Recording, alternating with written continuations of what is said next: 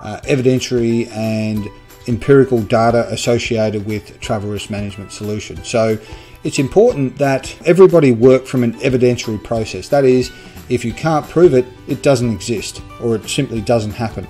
And what that contextually means is that if you believe that all of your individuals are compliant, or you believe that all incidents have been reported, or you believe that no incidents have actually taken place, then it should be demonstrable, whether it be through an audit or quality assurance process, or management oversight, or spot checks.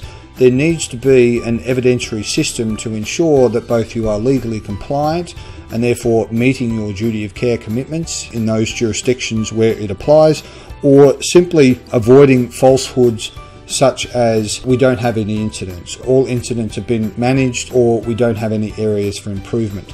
They're simply falsehoods if you cannot demonstrate one way or the other that they have or have not taken place. So it's simply not enough to identify the requirement for a travel risk management process, which encompasses hazard identification and threat identification, then not be able to demonstrate that on an ongoing process.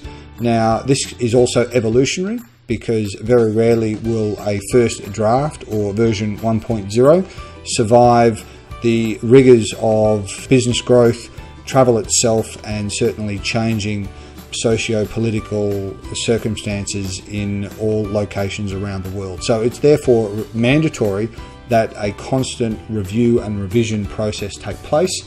And if you don't have any evidence or empirical data to support it, then it simply cannot be substantiated and therefore should be brought into question as to its effectiveness and veracity of use. Thank you.